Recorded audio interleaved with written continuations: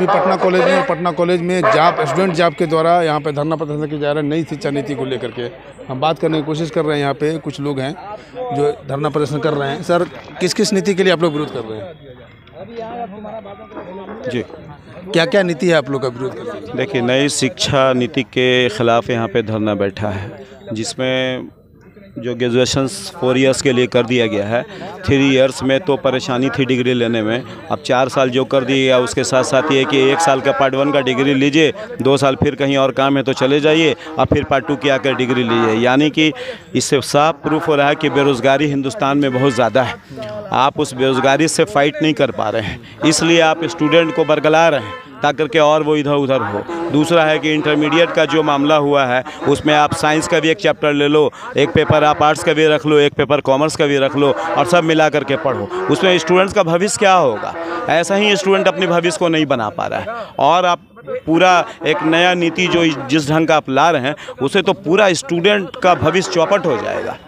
इसलिए हम लोग चाहते हैं कि इस नीति को सरकार भविष्य ले और बिहार सरकार से भी डिमांड करते हैं कि वो केंद्र सरकार तक इन बातों को पहुँचाए। सीबीएसई के लिए आप लोग सीबीएसई को कह रहे हैं कि आप लोग बिहार बोर्ड को 90 परसेंट दिया जाए। बिहार बोर्ड के लिए आप लोग चाह रहे हैं कि 90 परसेंट बिहार बोर्ड को दाखिल में शामिल हो या 50 परसेंट ऐसा कुछ करके। देखिए फिफ्टी परसेंट का डिमांड ये है कि आप बिहारी नहीं बिहार के बाहर भी स्टेट में अगर जा करके देखें हर जगह नौकरी से लेके हर चीज़ में वो अपने स्टेट्स के लिए ज़्यादा डिमांड करते हैं। तो बिहार मांग रहा है तो कौन सी बड़ी बात है? बिहार में तो और गरीबी है बेरोज़गारी है शिक्षा नहीं है। तो यहाँ तो और ख़ास का ख्याल रखना चाहिए। तो अगर 50 परसेंट हम लोग रिजर्वेशन मांग रहे हैं अपने बिहार बच्चों के लिए तो ये कौन सी बात है? अच्छा पीएचडी में भ्रष्टाचार की बात कर रहे हैं। क्या पीएचडी में किस तरह के भ्रष्टाचार होती है? पीएचडी में आप पता कर लीजिए किन किन लोगों का रिज़ल्ट होता है। पीएचडी में या तो भीसी के परिवार का रिज़ल्ट हुआ है। कई एसपी की वाइफ का रिज़ल्ट हुआ है कई पूर्व विधायक के परिवार का रिज़ल्ट हुआ है। आप पटना विश्वविद्यालय से निकालिए आरटीआई से। बहुत लोगों का रिज़ल्ट हुआ है वहाँ कर्मचारियों का रिज़ल्ट हुआ है। तो ये नीट की बात कर रहे हैं क्या आप? नहीं नहीं पीएचडी की मैं बात कर रहा हूँ। Entrance test PhD entrance test होती है विश्वविद्यालय यूनिवर्सिटी के द्वारा होता है। जी पैट बोला जाता है उसको। तो लगातार भ्रष्टाचार विश्वविद्यालय में हावी है। और अब विश्वविद्यालय के निजीकरण नई शिक्षा नीति के द्वारा किया जा रहा है जिसको लेकर हम लोग लगातार धरना प्रदर्शन कर रहे हैं कि विश्वविद्यालय के अगर निजी हाथों में सौंप दिया गया तो आम गरीब परिवार का जो बच्चा है वो विश्वविद्यालय तक अपनी उच्च शिक्षा लेने नहीं पहुँच पाएगा जिसके खिलाफ में आज अधिकार छात्र परिषद यहाँ धरने पर बैठी हुई है। आप लोग कब तक प्रोटेस्ट करेंगे? अगर सरकार बात नहीं मानती। हम लोग कई चरणों में प्रोटेस्ट करेंगे। आज हमारा महाधरना था। कल हम लोग वाइस यूनिवर्सिटी का घेराव करेंगे, उसके अगले दिन हम लोग राजभवन का घेराव करेंगे, दिल्ली चलो का नारा देंगे। हम लोग हर तरह से मुहिम के तौर पर एक काम करेंगे और छात्रों को और विश्वविद्यालय को निजीकरण के हाथों में नहीं जाने देंगे।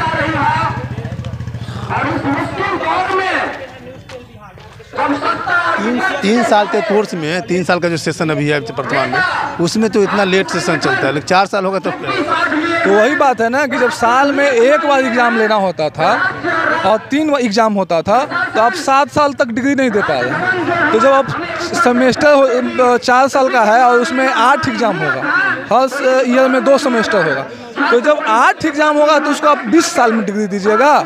और ये जो आप कह रहे हैं, नया रेगुलेशन के तहत, नया सी बी सिस्टम के तहत कि हम दो साल में ही डिग्री दे देंगे तो डिग्री के पर्पज से स्टूडेंट नहीं ना आते हैं? यहाँ नॉलेज के पर्पज से आते हैं। किसी चीज़ का गहन अध्ययन करने के पर्पज से आते हैं। तो यह सरकार डिग्री के पर्पज से नीति बनाई है।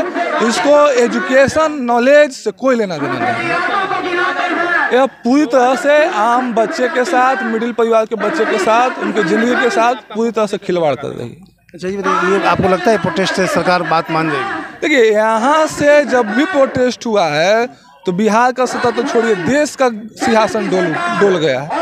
यहाँ के विश्वविद्यालय के छात्र हमेशा से लड़ने के लिए जाने गए हैं। तो हम लोग पूरे देश की आवाज़ बन कर के बैठे हैं और जब यहाँ से आवाज़ शुरू हुआ है तो यह लड़ाई पूरे देश में आग की तरफ़ फैलेगी और कहीं ना कहीं से मोदी सरकार को, भारत सरकार को इस बात को मानना पड़ेगा।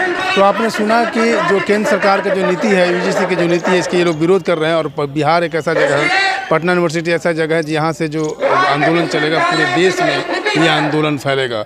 मैं शंभू कुमार कैमरा जर्नलिस्ट राजेश के साथ पटना। लाइव न्यूज़ खबर तो पक्की है।